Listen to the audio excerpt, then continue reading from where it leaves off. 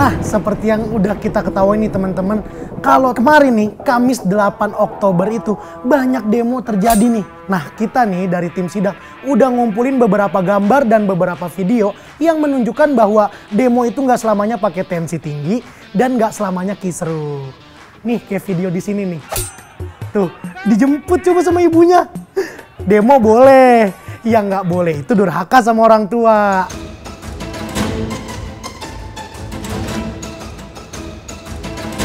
Video selanjutnya nih, ada anak STM coba. Anak STM dikasih sesuatu sama polisi. Betapa baiknya polisi sama anak STM.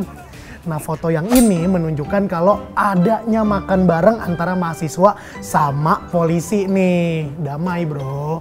Yang selanjutnya mereka beribadah bareng nih. Sholat maghrib bareng di depan Monas. Nah teman-teman yang ikut demo nih, minta dong cerita uniknya, minta dong cerita lucunya nih. Kalau emang kalian ikut demo kemarin, tulis di kolom komentar ya. Pengen lihat aja gitu. Nah sekarang kita udah ketemu di Suara Rakyat nih. Ada Mas Rizky sekarang nih yang bakal siap kita wawancara untuk tanggapannya demo kemarin ya Mas. Mas, tanggapannya gimana sih Mas untuk demo Omnibus Law kemarin Mas? Menurut gue sih demo boleh aja ya. Asal jangan anarkis dan selalu jaga kesehatan. Sedap nih. Dokter nih Mas Rizky ini nih. Jaga kesehatan teman-teman. Nah Mas, kalau misalkan pasal-pasal di dalam RUU Cipta Kerja nih Mas, yang menurut Mas agak bermasalah ya, menurut Mas nih, itu apa Mas? Gue sih nggak hafal pasal-pasalnya ya. Yang gue tahu dan agak berat buat gue, salah satunya ditiadakannya UMK dan dipotongnya hak cuti. Bener Mas. Nah ya, itu kan yang penting setahu Mas ya. Setahu Mas beda sama setahu saya kali ya.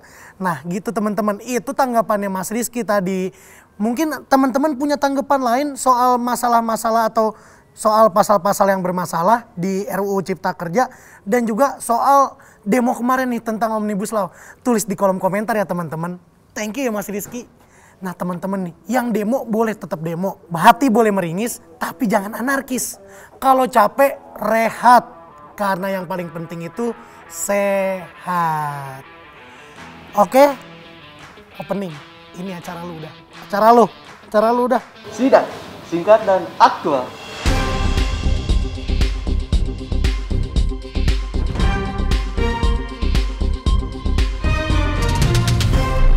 Assalamualaikum ibu-ibu, maaf abis ngajar ngaji. Saya dari kelurahan mau ngabarin ada penyuluhan untuk ibu-ibu yang pakai Android. Ada empat fitur WhatsApp baru bu. Yang pertama nih, ibu bisa online di empat perangkat langsung. HP, tablet, laptop, sama komputer bu. Yang kedua bu, ibu bisa ngapus chat. Sekarang ngapus chat bisa tujuh hari bu. Jadi ntar kalau yang ngechat bisa dihapus cepet-cepet. Yang ketiga bu, grup bisa di silent nih.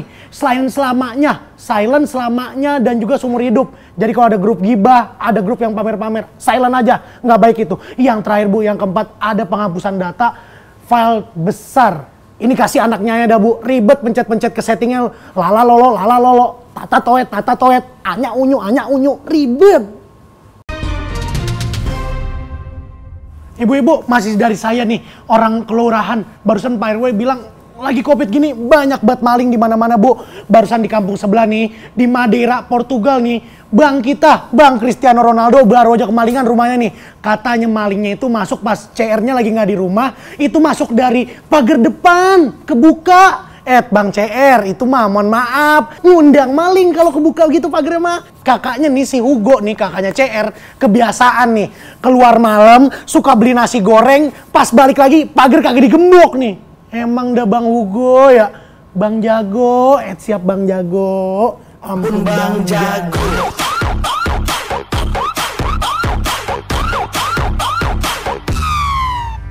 Setelah digegerkan oleh mahasiswa dan juga STM dan para K-popers yang menolak adanya Omnibus Law. Kini hadir para wanita yang mengaku sebagai teman main para anggota DPR. Para wanita ini disebut pelakor oleh para netizen dan mengancam pada anggota DPR untuk membuka mulut perihal hubungan yang dilarang ini. Jikalau para anggota masih saja kekeh, kekeh, kekeh dalam mengesahkan RUU Omnibus Law Cipta seperti dapat dilihat di video berikut. Dan di video yang satu lagi, para anggota DPR, masihkah kalian kekeh, kekeh, ke teman-teman seorang epidemiolog dari Universitas di Australia Diki Budiman ngomong nih kalau demo kemarin demo omnibus law nggak bisa tuh dituding jadi peningkatan covid ke depannya nih. Karena mau ada demo nggak ada demo covid di Indonesia tuh dari awal angkanya udah buruk. Jadi peningkatannya akan selalu memburuk nih. Ada nggak ada demo? Udah dulu teman-teman ya. Sampai ketemu di sidak selanjutnya. Tetap di sidak singkat dan aktual